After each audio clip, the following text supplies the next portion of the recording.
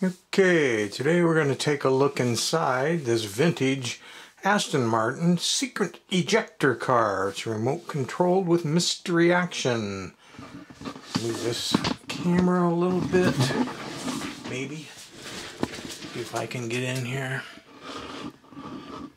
We can look at stuff. You want to look at the box. Here's the feature lineup. And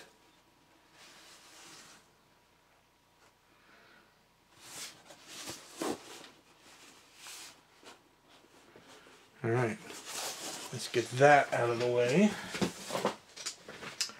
The body, if we get that far, we'll uh, we'll talk about the body uh, a little bit later. Main thing I wanted to talk about though is the uh, mechanics of the toy, how it operates. I had to get in to replace a uh, split plastic gear basically. This is the remote. It has uh, three D cells in it. You have a main lever. Center is off. In off nothing works, not even the eject button. And uh, normal run would be over this way, and as it says, run with machine gun, would be over this way. That's when the machine guns would extend out the front. Um, when you're in either one of those two modes, if you push the eject button, then the seat, which is on a lever, normally the body would only let it go up so far. With no body here, it's going to swing all, all the way up and back.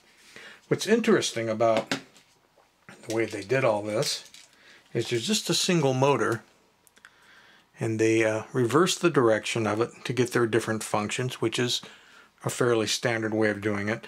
The bump and go drive is always connected to the motor no matter what. Um, this rack and pinion drive right here is what's going to extend the lights out. Well, machine guns. I shouldn't just call them lights. It's going to extend the machine guns out or retract them back in depending on which way the motor is running. This is a clicker box and a flasher for the guns, so it amplifies the sound when the little wiper gets hit. Um, this side is where the interesting stuff comes in. That ejector button, in order to eject this seat, they need to see if the camera is looking in the right place. You see this piece right here? If I move that, then this seat is spring loaded and wants to fly up. But see how that moves? Maybe? That grabs the bar. In order for that to move, this piece has to move. In order for this piece to move, this is always spinning and has a little nubbin on it. If this was pushed in, that little nubbin would grab hold of those gear teeth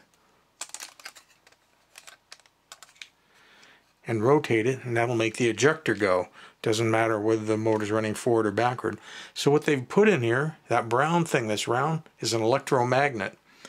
So if you're in, when the motor is on, if you push that button, that electromagnet then sucks this piece of metal in so that that spinning lump can grab that little teeth on the gear, pushing that back, which then makes the ejector go. So, this is normal bump and go mode you can see. And normally the front the bumpers would be out. And here's the machine gun mode. You can see the clicker moving there and the light. You see how the rack has gone all the way to one way? And here's the rack all the way to the other way. I'm going to go ahead and turn it back on and what you're going to want to be trying to watch will be, well, I'll get it back far enough where you can see not only this but the chair flyback when I hit the red button. So there we are. I'm going to hit the red button now. So that's how the ejector works. See how that moves in there? The electromagnet sucks that bar in. And it would do the same thing even if we were in this mode.